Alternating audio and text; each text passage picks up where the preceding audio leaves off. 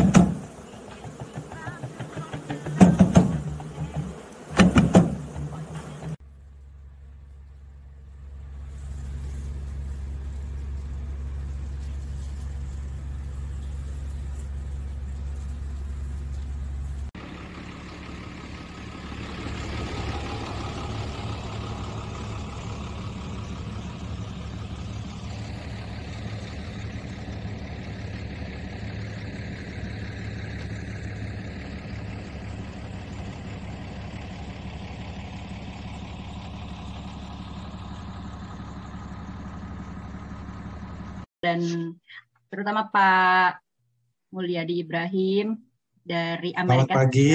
Wah. Ya, kita Amerika udah sore di sini sekarang. sore ya? Iya, udah jam 7 lewat. Oh, Oke. Okay.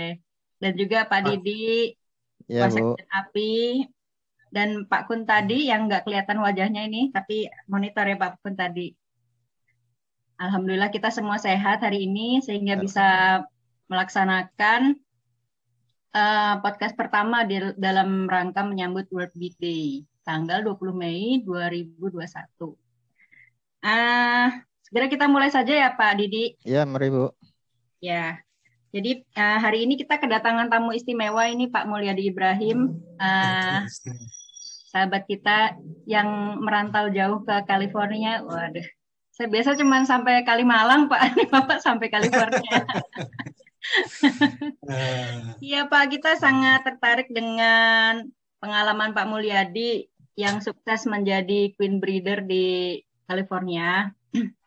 Itu uh, pastinya teman-teman pegiat perlebahan ingin mendengar langsung uh, cerita dari Pak Mulyadi. Bagaimana awal mulanya nih Pak Mulyadi bisa tertarik dengan dunia perlebahan, terus jauh-jauh sampai ke Amerika, kemudian uh, menekuni breeding ya, karena kebanyakan uh, orang kita kan apa pengertiannya untuk uh, perlebahan sendiri kan umumnya hanya menghasilkan madu ya Pak.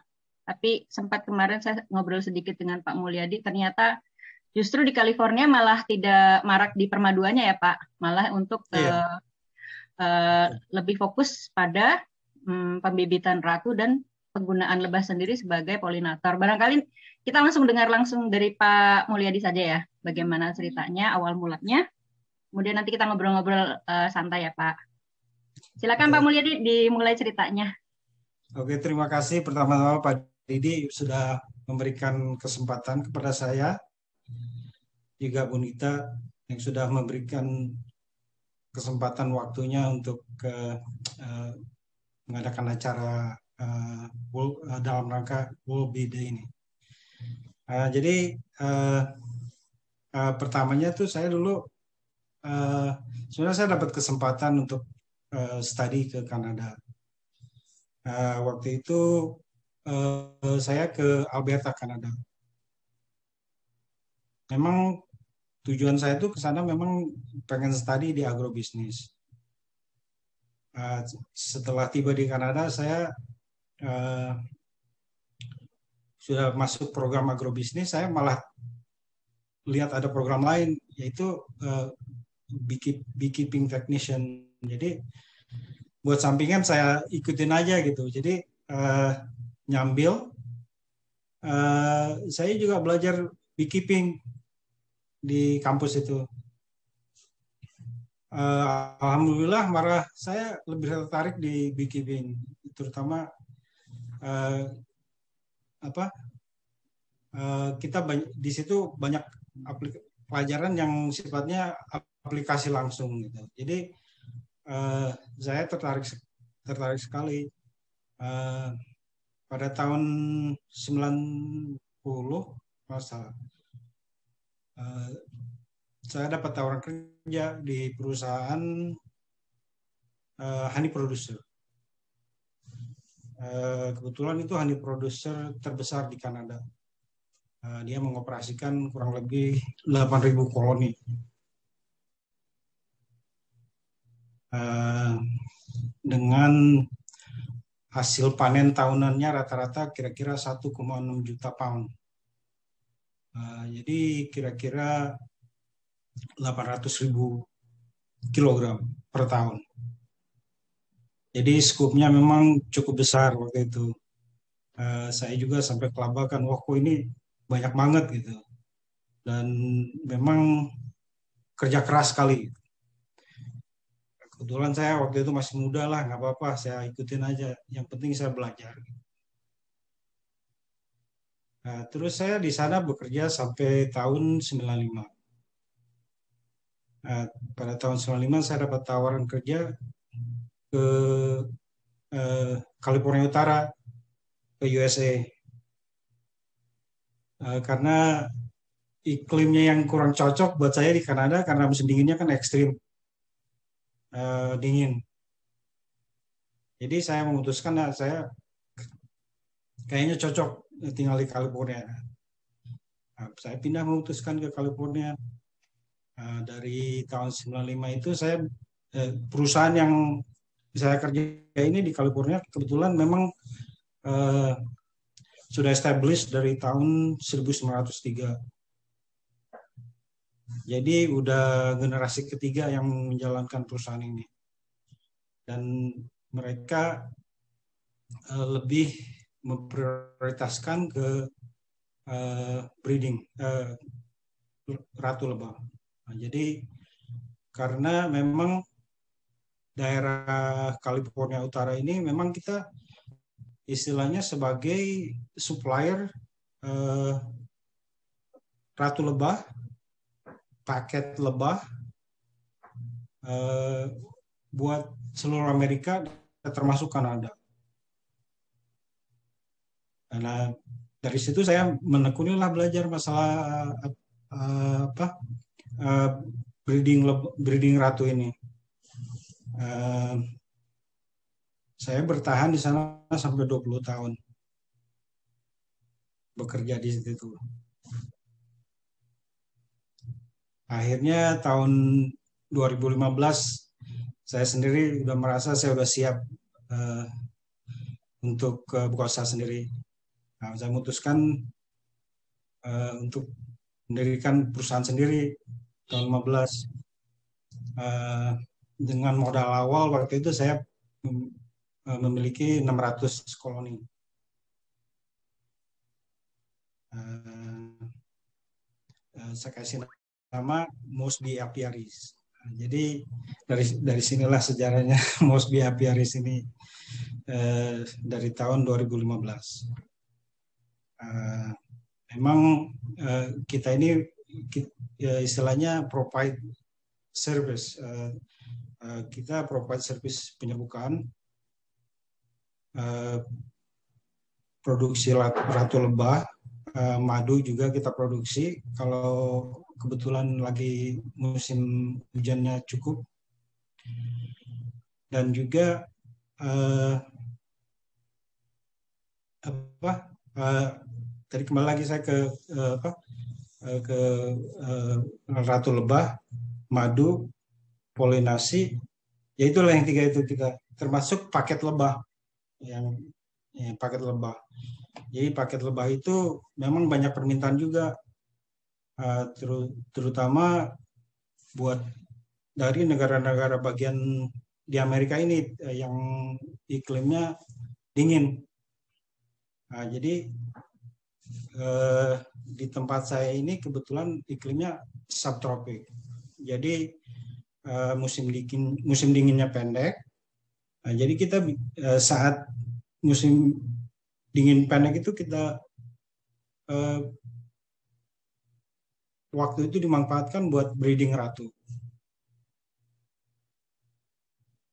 Nah, dari situlah memang kita itu memang sudah terkenal dari di buat California Tar sudah terkenal sebagai the main producer buat ratu juga paket lebah. Nah, makanya saya saya uh, usaha saya sekarang di uh, penyerbukan ratu lebah, madu juga paket paket lebah. Karena memang yang seperti saya bilang California ini subtropik iklimnya. Jadi kita ini salah satu produser uh, terbesar di Amerika, uh, produser uh, sayur-sayuran, buah-buahan dan biji-bijian. Uh, maksudnya kacang-kacangan gitu. Nah, jadi uh, terutama almond. Uh, uh, almond inilah sebenarnya yang jadi penunjang uh, apa uh, bisnis uh, perlebahan di California Utara karena uh, almond itu tidak berproduksi tanpa lebah tanpa dibantu penyerbukannya oleh lebah. Nah, jadi uh, setiap tahun uh, alhamdulillah kita uh, lebah kita dikontrak sama petani-petani uh, almond. Eh, dan itu dari mulai awal Februari uh, sampai dengan uh, pertengahan atau akhir Maret tergantung uh, apa, kondisi cuaca. Nah, jadi kira-kira selama 6 sampai 7 minggu lah kira-kira uh, penyerbukan gitu uh, apa lebah kita disewa. Uh, memang eh, lima tahun terakhir ini kita sudah banyak pembicaraan kita masalah koloni kolaps. Jadi memang eh, pemerintahan Amerika ini termasuk eh, USDA, ya, US Department of Agriculture, mereka eh, istilahnya ngasih perhatian benar-benar. Jadi eh, banyak bantuan-bantuan juga dari pemerintah yang bentuknya uh, seperti uh, apa buat buat uh, penelitian buat lebah terus juga ada fundingnya terus kerjasama sama kampus-kampus uh, yang bisa membantu uh, apa uh, dalam riset-risetnya terutama uh, buat uh, dalam menangani uh, koloni kolaps ini.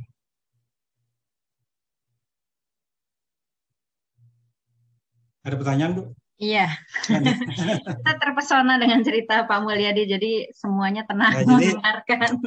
Jadi jadi memang istilahnya supply and demand. Jadi almond petani almond ini uh, sekarang kan sekarang almond ini lagi semarak di daerah kita. Kira-kira uh, diprediksi uh, dalam jangka dua tiga tahun ini uh, almond ini akan mencapai uh, 1,3 miliar acre.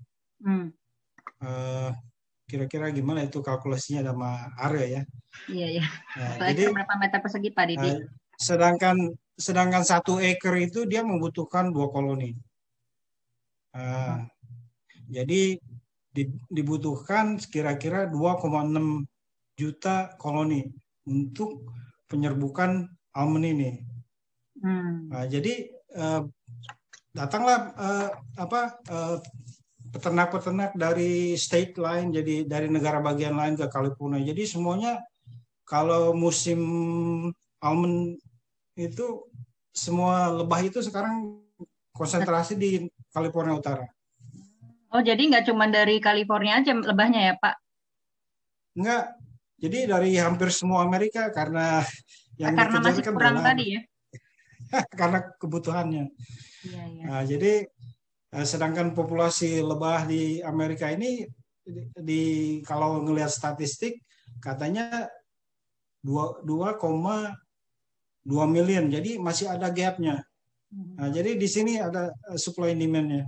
Hmm. Gitu. Nah, kita masih dibutuhkan karena memang uh, mereka juga yang di negara bagian lain itu banyak juga ininya apa uh, mortality-nya. Hmm. Jadi uh, tiap tahun itu kadang-kadang mereka sampai 20 atau 30 persen lebahnya mati. Karena nah, itu CCD itu apa? Karena karena, apa itu? karena CCD. Karena CCD juga uh, kalau menurut saya banyak something to do sama uh, Waromite. Hmm. Jadi uh, memang kuncinya uh, hype manajemennya. Jadi uh, kita itu kadang-kadang nggak ter, nggak terlalu fokus buat produksi madu tapi mengabaikan uh, Varroa. Nah, hmm. ini ini yang nggak bisa gitu. Jadi uh, efeknya begitu. Kalau hmm. mereka terlambat uh, apa me, merawat Varroa berarti efeknya musim dingin dia banyak mortalitas hmm. mortalitasnya. Dan serangan Varroa itu sendiri terhadap apa Bapak itu tadi kan uh, fokusnya pertama di breeding ya Pak. Pengaruh yeah. Farwa terhadap uh, uh, pembuatan ratu lebahnya sendiri gimana Pak? Ya efeknya kan koloni kita kecil. Jadi kalau Farwa itu sebenarnya kan pembawa virus. Farwa sendiri sebenarnya dia itu nggak mematikan, cuman virus yang dia bawa itu yang mematikan. Hmm. Nah, Nah, di situlah kita makanya uh, dan uh, seperti saya bilang hype management itu kuncinya di situ. Jadi uh, uh, ada saat-saatnya waktunya kita uh, apa uh, treatment buat farwa itu harus ada jadwal yang yang disiplin. Gitu. Hmm. Jadi uh, di samping ya jadi timing juga istilahnya. Uh, jadi alhamdulillah sih kalau saya uh, Warwa bisa ditanganin hmm. sampai sampai sekarang ini. Kalau untuk uh, breedingnya itu Pak, tekniknya seperti apa Pak? Karena kan kita ada kenal inseminasi juga ya. Nah, oh, bagaimana bisa diceritakan Pak? Iya. Saya sebenarnya kurang tertarik sama inseminasi. Saya saya juga belajar inseminasi, cuman saya lebih uh, suka breeding secara alami karena uh, apa uh, kita ngejar uh, kuantitasnya. Jadi prosesnya memang kalau uh, inseminasi kan lama. Jadi kalau kalau breeding secara apa alami uh, kita bisa bisa dalam jumlah besar dan uh, memang banyak sih apa syarat uh, syarat-syarat yang harus diikutin kalau memang mau berhasil uh, uh, sebagai bee breeder, queen breeder. Uh, kalau saya memang uh, dari setahun penuh itu saya udah nyari bibit calon breeder. Jadi kalau saya inspeksi ke lapangan saya udah nyari ini uh, uh, apa misalkan saya ada koloni ini bagus jadi udah saya tandain ini. Misalkan saya lihat uh, gimana ini uh, produksi madunya. Yang kedua uh, gimana dia temperamennya. Uh, jadi uh, dan juga saya saya lihat uh, apa uh, kualitas produksi ratunya. Jadi bagaimana sebanyak apa dia bisa memproduksi lebahnya itu dan dan bertahan berapa lama. Dan yang keempat yaitu uh, uh, varroa resistant. Nah itu yang saya cari. Jadi dalam 6-7 bulan itu saya dari sekarang ini saya udah mulai cari breeder. Sudah sudah saya tandain itu. Uh, karena breeding saya itu mulai kira-kira bulan Februari, jadi udah tahu mana breeder yang bakal saya pilih itu. Hmm. Jadi, jadi breeding itu di bulan Februari ya Pak, pada saat musim semi. Iya, semi ya. Uh, uh, kalau yes spring ya kalau di sini berarti spring springtime. Jadi uh, ya itulah kriterianya kalau memang mau apa uh, uh, dan terutama memang uh, kuncinya juga setelah kita memenuhi empat kriteria itu uh, juga memang kuncinya itu breeding ratu itu enam hari pertama kuncinya. Saat dari mulai grafting sampai uh, selnya tertutup. Nah, kuncinya di situ. Nah, jadi uh, ratu itu kan kebanyakan eh, maksudnya nutrisinya kan lewat eh, apa eh, dapat nutrisinya dari nurse bee-nya itu. Nah ini ini yang perlu. Jadi eh, waktu breeding itu kita taruh di dalam kotak uh, cell builder itu jadi buat uh, building cell itu kita harus taruh uh, brood yang sudah mau netes itu. Jadi uh, banyak calon-calon nurse bee-nya yang uh, netes uh, jadi uh, saat kita grafting kita masukkan graf, uh, grafting kita ke cell builder, mereka insya Allah lah ini ratunya bakal kualitasnya bagus. Hmm. Dan dan e, memang lebahnya harus banyak jumlahnya, jadi harus penuh lah.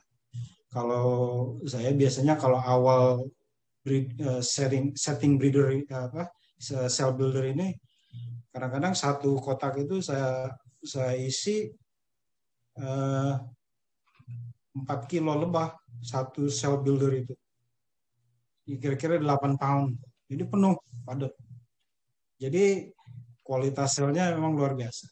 Nah, jadi kalau kualitas selnya bagus, insya Allah ratunya bagus. Kilo lebah itu bukan nurse bee semua ya Pak? Bukan. Hmm. Iya, hmm. mereka kan ya ada workernya, ada drone-nya. Nah, yang Lengkap drone ya. juga kunci, ya drone juga nih kunci. Hmm. Jadi kalau kalau setelah sel ini udah siap menetas, kita udah siapkan. Kalau saya kan pakai uh, mini uh, mini nuk gitu yang kotak kecil itu buat uh, produksi ratu itu. Nah, jadi sel-sel itu saya masukkan ke mini nuk uh, di, di apa? Terus bisa isi uh, satu per tiga pound lebah per mini nuk itu. Jadi dan sebelumnya kita udah siapkan uh, pakannya, uh, lokasi yang bagus, banyak tanaman, banyak uh, bunga-bunga, uh, dan juga kita siapkan uh, koloni di samping uh, apa tempat uh, tempat uh, ratunya itu apa kawin ya. Hmm. Nah, jadi kita kita cukupkan kebutuhan drone-nya. Iya Pak, saya ini baru lihat sebenarnya dari kemarin sih saya lihat Pak ngintip Instagramnya Pak Pak Mulyadi nih. Ya. Ini ya Pak maksudnya ya, yang mini mini Nux, yeah. mini Nuxnya. Bagus loh yeah. Pak Diti. Jadi ini yang tempat berutnya ya. Iya. Oke. Okay. Terus itu kecil-kecil banyak itu Pak di di, di lahannya itu itu mininuk semua ya? Nah, iya. Biasanya saya satu lokasi itu saya taruh antara 500 sampai 600 koloni. Ini 500 600 nuks. Jadi eh, istilahnya kita cukup buat satu hari eh, nangkepin ratu. Hmm. Eh, sama tim kita satu tim kita sehari itu nangkepin ratu. Jadi eh, seperti saya bilang memang eh, kunci yang selanjutnya itu drone. Kita harus mencukupkan kebutuhan drone-nya. Jadi minimal kan mereka kawin sama sampai 8 drone per ratu itu. Nah, jadi kalau kurang drone-nya berarti kualitas ratunya kurang bagus. Ya. Drone-nya sendiri itu dari tempat Bapak sendiri ya? Enggak disilang dari tempat lain kan? Apanya? Drone-nya. Iya, saya bawa koloni saya ke sana jadi uh, uh, sampingnya gitu. Jadi sebelahnya uh, jadi drone itu jaraknya dekat. Hmm. Gitu. Jadi tadi untuk bisa sukses uh, breeding itu yang pertama harus pilih cal indukan ya, indukan yang temperamennya jinak. Terus dia ah. produksi telurnya baik. Terus iya. menghasilkan produksi madu yang bagus. Kemudian juga harus tahan varroa ya Pak ya. Ya, varroa resistan. Jadi uh, memang uh, sebenarnya varroa ini musuh utama uh, peternak peternak lebah kita ini di di Amerika juga. Hmm. Dan yang tidak kalah penting itu ya pakannya ya Pak. Tanaman nah, pakannya ya. baiknya. Iya, jadi memang istilahnya kebutuhan nutrisinya kita cukupi mm Gitu. Termasuk ya koloni-koloni kita ini kalau pakannya udah kurang berarti kita uh, dikasih apa uh, pengganti uh, apa sub substitute ya uh, pollen substitute termasuk termasuk ya gula uh, buat survival. Mm. Gitu. Itu kan uh, Bapak tadi cerita sebelum di breeding bulan Februari itu udah mulai diseleksi ya sebelumnya iya. hampir setahun sebelumnya udah mulai diseleksi. Nah terus juga uh, uh, Pak Mulyadi pernah cerita juga kalau di California itu bukan penghasil madu ya Pak. Jadi hmm. ternyata untuk bisa menghasilkan ratu yang berkualitas itu yang paling penting itu uh, polennya atau gimana Pak? Karena kan bisa disubstitusi madunya dengan air gula.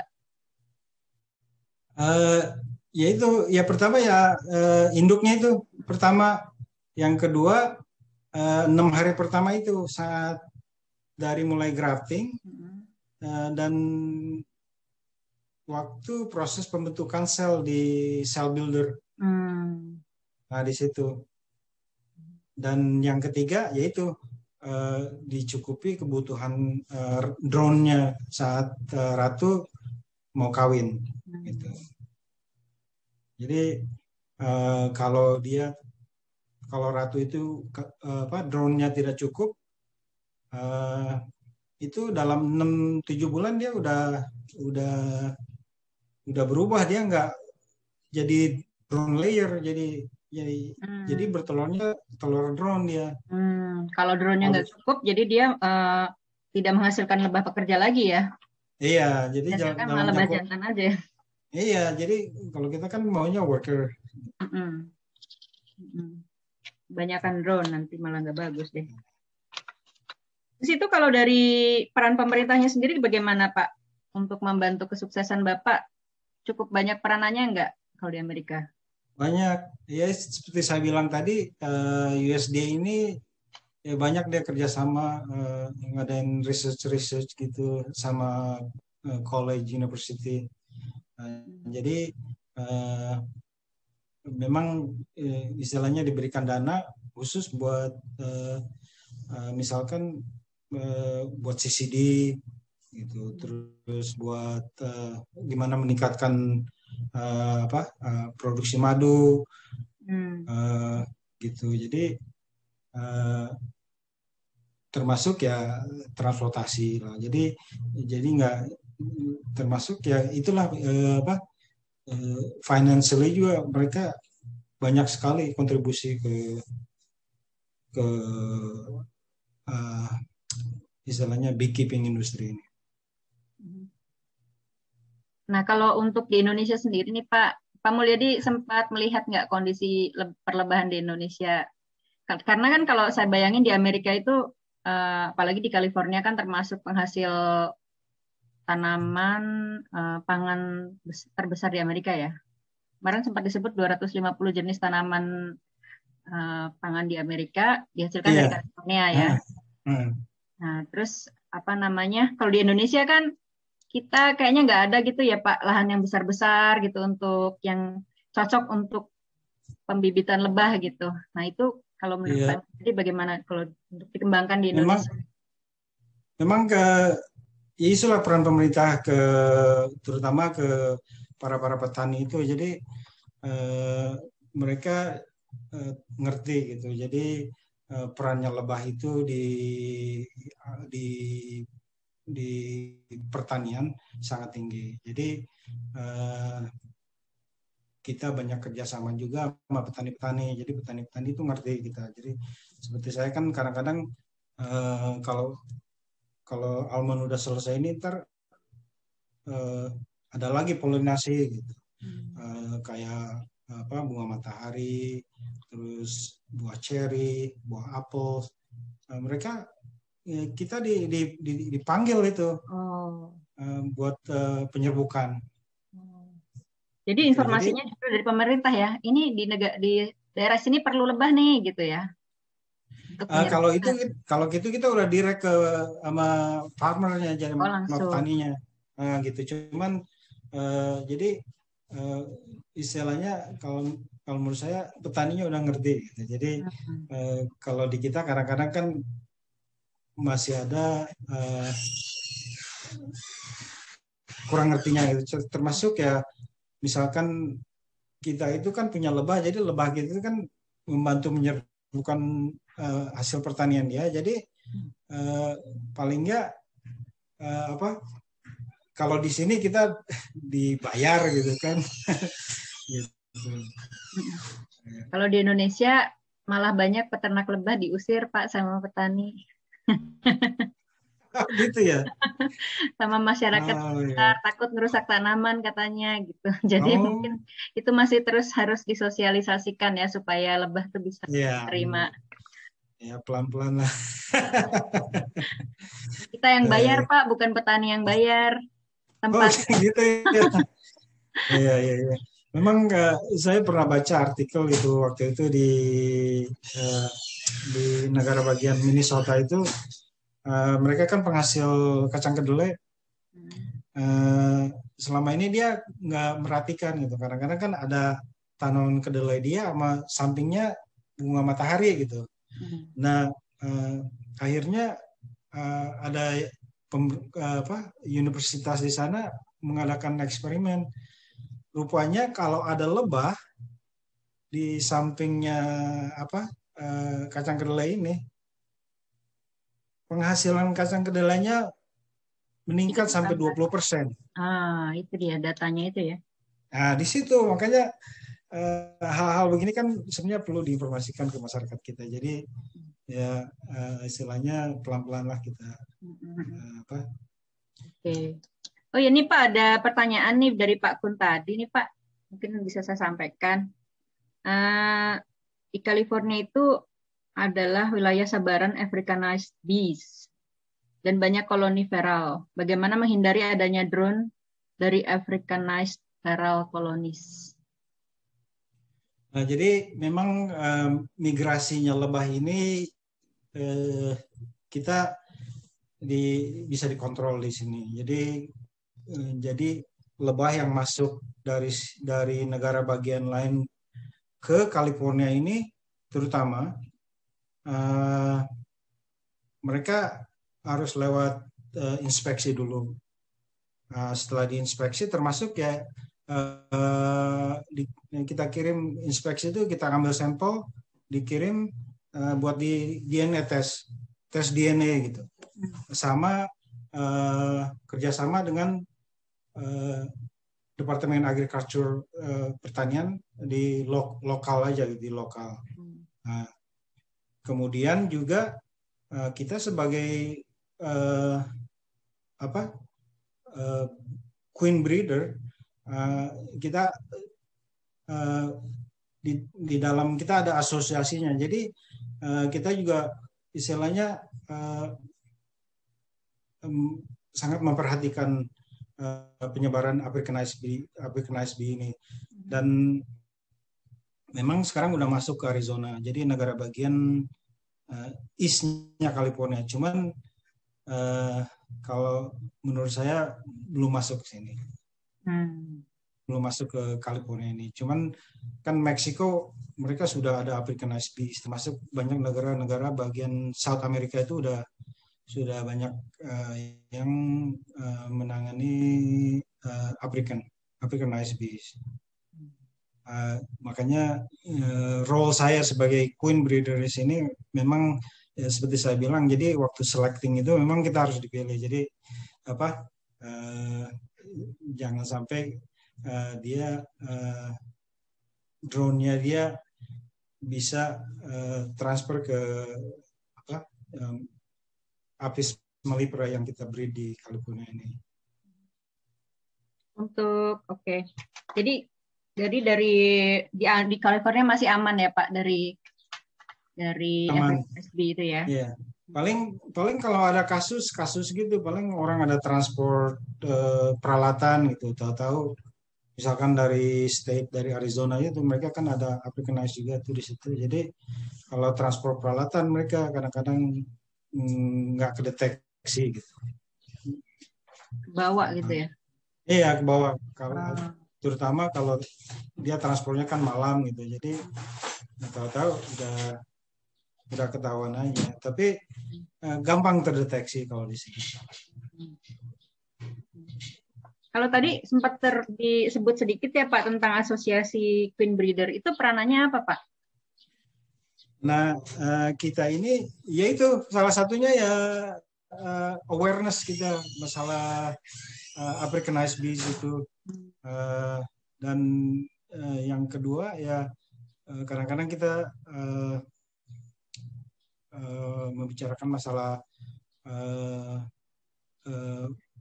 ekspor ratu ke Kanada gitu kan terakhir-terakhir ini kita udah udah tertutup uh, ekspor ratu ke Kanada karena alasan Farwa itu uh, jadi uh, topik kebetulan memang darah saya ini kita ini sampai ada tiga empat puluh breeder di lokasi di, di daerah saya ini sekarang ini. Nah, jadi untuk monitornya kita kadang-kadang ya karena dekat jadi kalau ada meeting kita bisa langsung gitu. Jadi menghimpun uh, teman-teman breeder ya, saling bertukar informasi iya. gitu ya Pak ya. Iya. Kalau Pak Mulyadi sendiri itu produksi breed uh, produksi ratu lebahnya sudah berapa Pak per tahun rata-rata Pak? Uh, tahun ini saya memproduksi sampai 13 ribu. Hmm. Itu uh, dikirim ratu. ke mana aja? Uh, semua uh, kira-kira 2000 buat kebutuhan, kebutuhan saya sendiri karena saya sekarang koloni saya udah sampai 1000 hampir 1500 koloni. Uh, dan uh, yang 10 ribunya itu kita kirim ke ke negara-negara bagian Amerika itu memang uh, biasanya mereka itu membutuhkan ratu karena uh, buat ekspansi juga. Hmm. kayak mau, mau bikin split uh, buat uh, apa menutupin uh, mortalitasnya waktu musim dingin. Jadi uh, dia butuh ratu ke kita. Terus kadang-kadang kita juga kita kan provide uh, package B juga. Nah uh, termasuk paket paket B ini juga. Paket B itu satu kilo bis uh, lebah sama ratunya satu. Jadi kita bisa kirim ke mana aja di Amerika ini, termasuk Kanada waktu sebelum Kanada tutup bordernya. Hmm. Itu biasanya yang pesan paket lebah itu untuk menghasilkan madu atau untuk untuk polinasi juga, Pak? Menghasilkan madu. Hmm. Jadi kalau kalau misalkan mereka pesan buat bulan April, uh, dan madu itu hampir menyeluruh di Amerika ini rata-rata saat produksi madu ini kira-kira bulan Juli Agustus. Nah, jadi uh, waktunya udah jelas. Ya? Nah gitu. Hmm. Jadi musim panas. panas di negara bagian lain nggak sepanas di California mungkin ya Pak. Jadi mereka bisa produksi madu. Waduh, kalau di California ini udah sebentar lagi udah 30 sekian derajat. Jadi nggak nggak bagus untuk lebahnya sendiri malah ya Pak ya? Iya, jadi eh, saya juga ini sedang siap-siap uh, mindahkan lokasi apa lebah saya ke, ke ke dataran tinggi biar agak dinginan lah gitu. Oh. Soalnya di sini suhu bisa ekstrim bisa sampai 110 100 uh, sampai 120 derajat Fahrenheit. Hmm. 120 derajat Fahrenheit itu sama dengan berapa derajat ya Saya lupa lagi. Kira-kira 30 36 derajat lah 30 panas juga ya? Panas panas. Hmm. kayak kayak di, di Mekah aja musim panas. Tapi pada saat itu bapak pindahin itu mungkin malah bisa produksi madu di tempat lain ya pak? Iya jadi kalau di makanya saya memang kalau saya kan lebih ke uh, servis penyerbukan sama produksi ratu sama paket lebah uh, saat saya pindahkan ke gunung itu istilahnya buat maintain aja. Tapi uh, maintain juga kita masih juga bisa alhamdulillah bisa produksi madu juga di situ. Produksi juga ya. Uh, jadi Februari itu produksi eh Februari Mei itu penyerbukan Juni uh, Juli Agustus itu pindahin dapat madu Terus Septemberan itu kira-kira udah mulai masuk musim gugur ya Pak ya, autumn musim ya? gugur ya. Hmm. Balik lagi ke California? Iya balik lagi. Jadi hmm. uh, setelah setelah madu kita panen, udah kita itulah uh, perwa treatment lagi di di di atas itu. Uh, hmm. Mereka perwa udah, ya sebenarnya perwa kan nggak bisa di wi nggak bisa di ini sampai 100%. Jadi paling enggak di, bisa di maintain lah ininya apa investasi investationnya gitu. Jadi pada saat mulai masuk autumn sama winter dilihat tuh pak ya ada varuannya atau enggak kalau ada diobatin dulu gitu sambil dilihat-lihat mana ya. ratu yang bagus untuk calon breeder berikutnya gitu ya. Iya benar. Nah jadi bulan sebelum salju turun saya pindahin lagi ke ke lokasi di California Utara dekat rumah. Hmm. Jadi pas winter full ada di California udah. Iya. Hmm. Nah, gitu. Oke. Nah untuk protein eh untuk apa substitusi pakannya tuh tadi Pak itu biasanya bikin sendiri atau memang ada suppliernya Pak pada saat kurang pakan atau butuh tambahan nutrisi gitu? Jadi uh, materinya kita bisa beli. Uh, sebenarnya sih uh, semacam soy product. Jadi kan apa? Ada proteinnya. Jadi kita yang bikin sendiri di di di warehouse kita. Nah, jadi soy produk itu kita bikin dipakai mixer besar gitu uh, dibuat buat melembutkannya kita tambah air gula. Seperti bikin adonan roti. Jadi oh. kayak kayak bikin adonan roti. Nah baru kita serving. Mungkin di di Indonesia juga ada banyak orang bikin polen pati itu. Itu formulanya dibikin sendiri atau udah ada informasi dari USDA mungkin?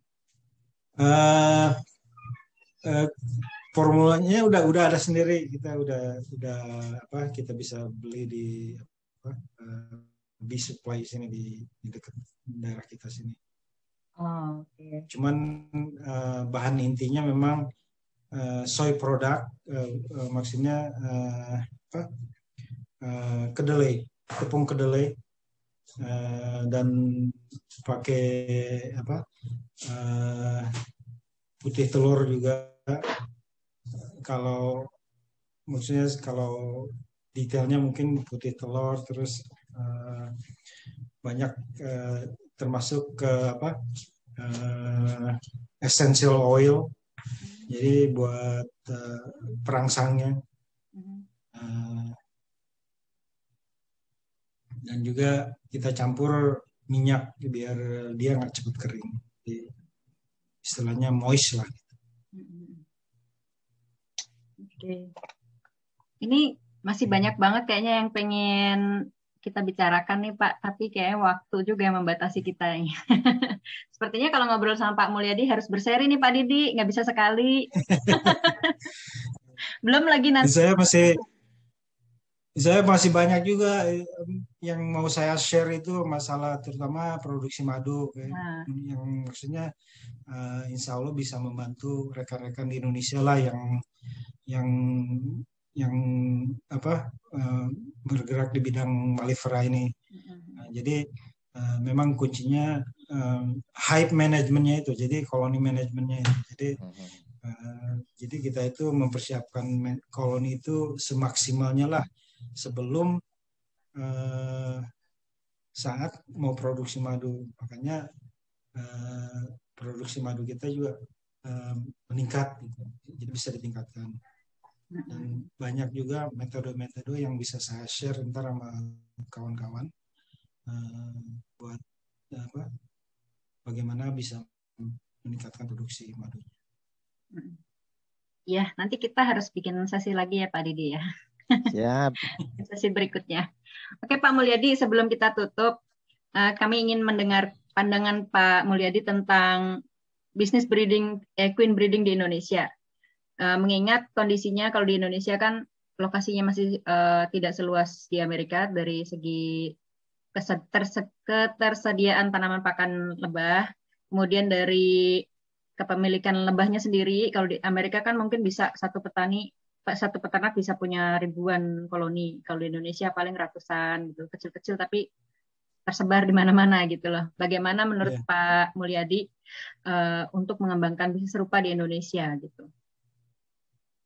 Eh, bisa uh, tapi karena mengingat mungkin apa pakannya agak kurang uh, dan maksudnya pakan itu sebenarnya banyak di Indonesia tapi uh, macam-macam gitu jadi uh, sebenarnya bisa diproduksi uh, cuman uh, skalanya kecil saja misalkan kalau kalau saya misalkan satu lokasi itu 600 mungkin di sana kita bisa skala misalnya 100 cuman banyak gitu akhir-akhirnya kan uh, banyak juga antar produksinya gitu. Jadi uh, dipilihlah lokasi-lokasi yang bagus itu uh, untuk uh, apa uh, breeding ratu.